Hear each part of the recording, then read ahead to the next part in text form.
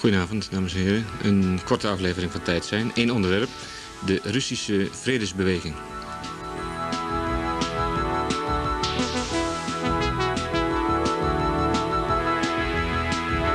Sinds vorig jaar juni